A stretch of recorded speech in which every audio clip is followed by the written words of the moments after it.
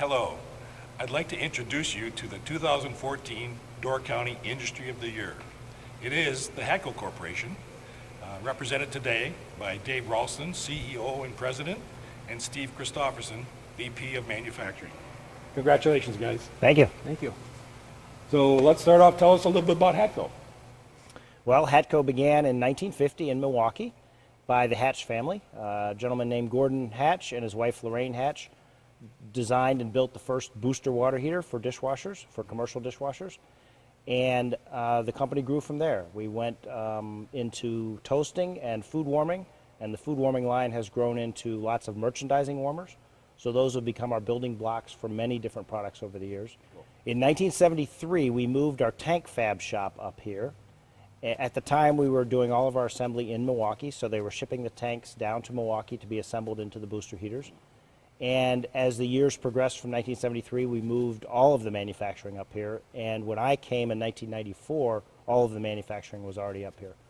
We do have one small manufacturing plant in China, and we opened that in 2008. And our primary goal there was to supply the Asian market out of that factory. We have a very limited number of production lines that we manufacture there, and it's typically the higher volume stuff that uh, goes into that Asian market. And um, we, we did not open that manufacturing plant to try to move jobs out of the U.S. We opened it simply to shorten the supply line to our Asian customers. Could you give us a little bit more detail about some of the products that uh, you know you've gone into since those early products? Most of our products are in a commercial kitchen, in a restaurant, and a lot of it is what they call the back of the house, which is behind the wall in the kitchen, and you don't see that. Um, some of the stuff has crept toward the front of the house, which is where you'll typically see it sometimes. A great example um, is Kwik Trip uh, convenience stores, which you see all over Wisconsin. When you walk into a Kwik Trip, there are typically two large sandwich displays there, and those are both ours. So I'm hearing warming, I'm hearing water heating, and is there some cooking too? There is cooking now that we've purchased Ovention. We do have some smaller uh, countertop cooking appliances that have become part of our line over the years. Uh, but the, the biggest cooking appliance is this Ovention oven. And we are running Ovention as a separate company. It's manufactured here in Sturgeon Bay in our Hatco factory, but uh, to the outside world, it is a separate company.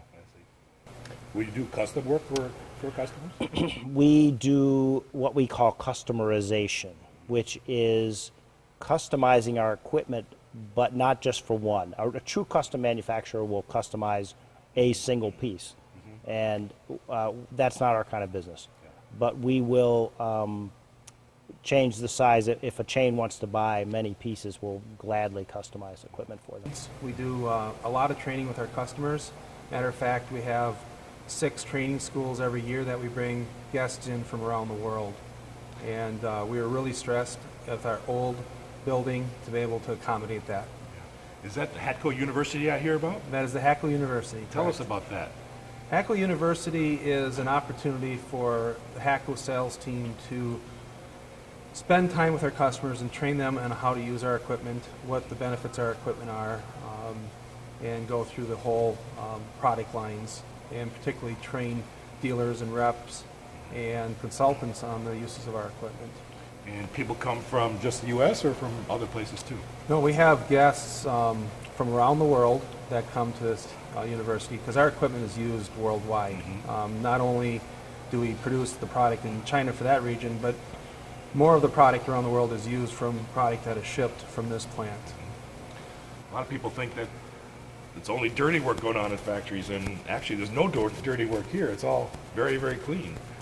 We work real hard to create a pleasant atmosphere to work in. Uh, having a clean work environment, having an orderly work environment is very important. Uh, I think our team members enjoy working in that environment, and we work hard to keep that. Tell us about the employment at Hatco.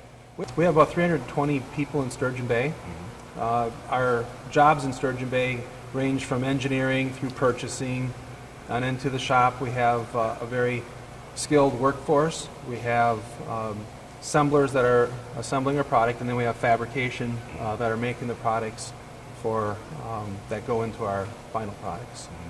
We find skilled workers, uh, but we also rely on our in-house training. You have to have in, in the Door County market, you have to be able to do both. Yep. Uh, but we find very good team members. We have a great workforce here, uh, great team uh, to to make this factory run. The recession uh, hurt our company just like most companies, and um, we took a dip. We did not lay off. We've never had a layoff in our 65 year history, and we're proud of that.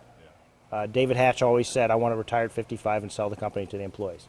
So in 2004, uh, he made that happen, and he moved to Florida. He is now our chairman of the board, so he's still involved, but he doesn't have any ownership in the company anymore.